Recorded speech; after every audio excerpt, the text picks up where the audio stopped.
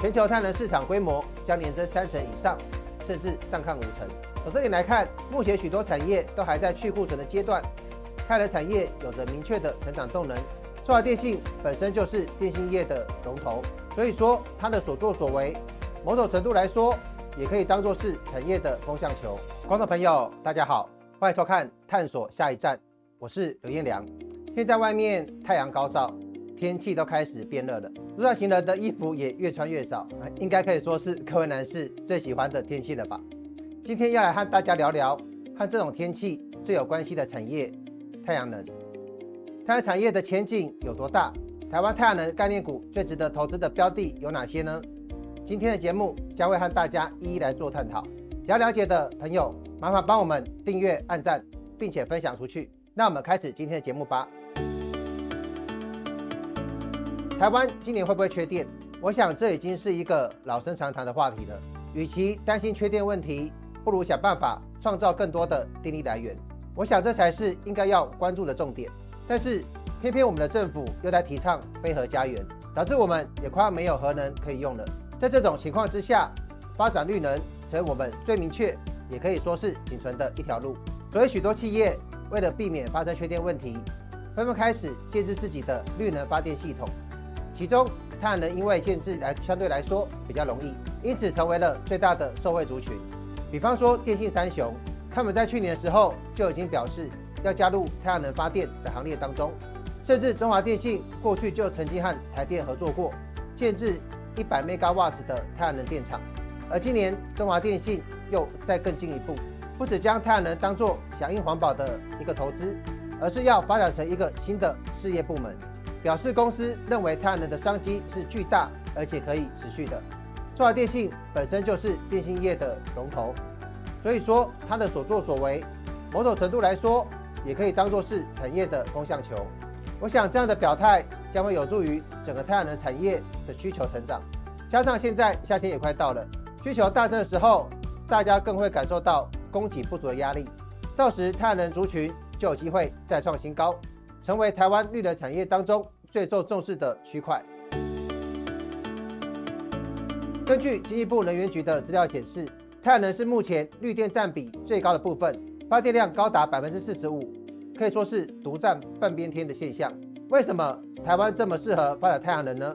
我们可以从地理位置来看，台湾因为处在日照充足的亚热带地区，每年的日照时数高达两千小时，这样的环境非常适合太阳能发展。而且因为这几年电价高涨，许多人都开始自发性的在自家屋顶装置太阳能光电板，尤其是中南部地区，因为日照时间比北部来得更长。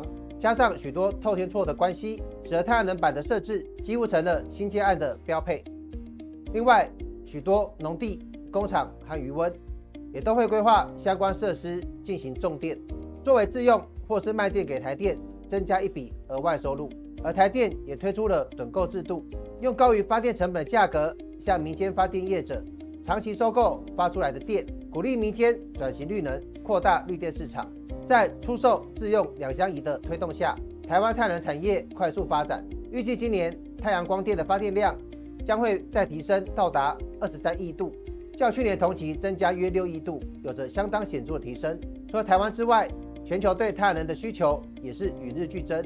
以欧盟来说，它在前阵子就推出了 Repower EU 的计划，预计二零二五年建制三百二十 g 瓦的太阳能，并在二零三零年要达到将近。六百吉瓦子的太阳能建制目标。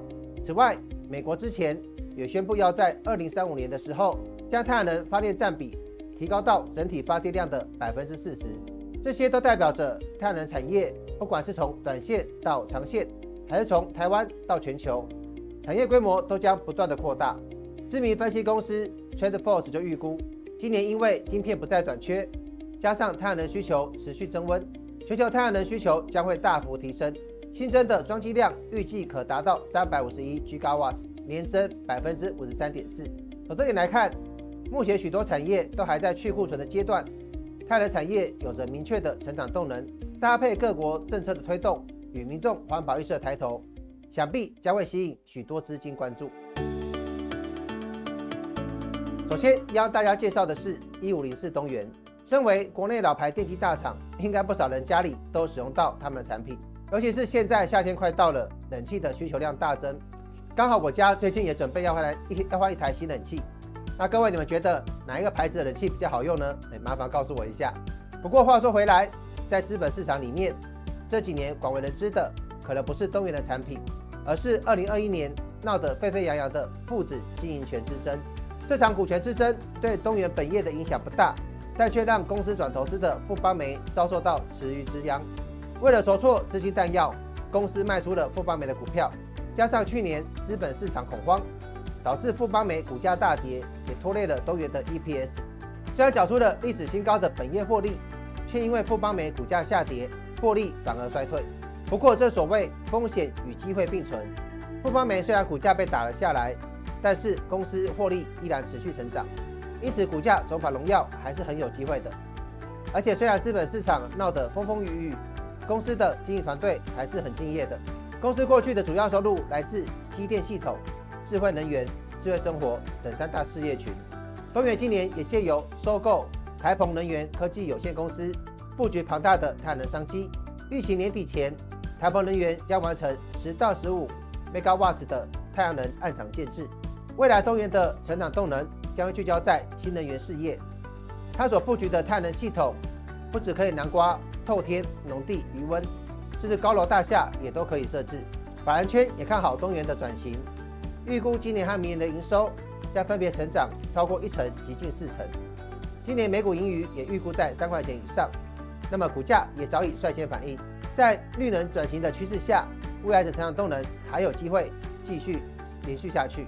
加上即将迎来的冷气传统旺季，因此近期的涨势也可以期待一下。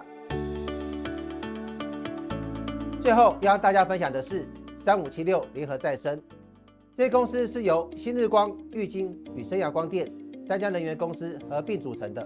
那么公司有八成以上的营收来自于太阳能电池以及模组，公司更是太阳能电池的龙头，连续五年获得了金人奖的肯定。展望今年，公司认为只要没有新的黑天鹅，全球太阳能市场规模将年增三成以上，甚至上看五成。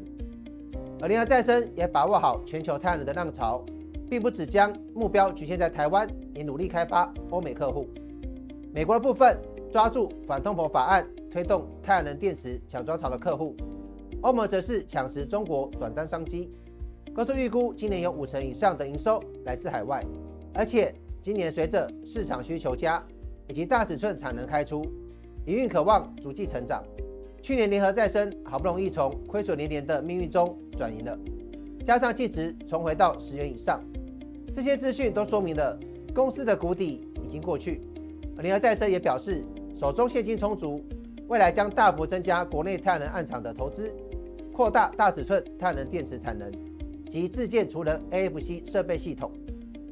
而且公司股价自从二零二一年减资弥补亏损后就没有大幅波动，因此在太阳能高速发展的现在，是一档相对便宜的标的，值得大家多多关注。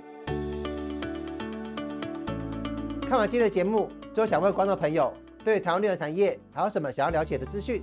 欢迎在下方留言告诉我们。未来我们还会再介绍更多关于投资理财的产业相关资讯。喜欢我们节目的观众朋友，欢迎订阅、按赞、加分享。并开启小铃铛，才不会错过新的影片通知。探索下一站，我们下次再见。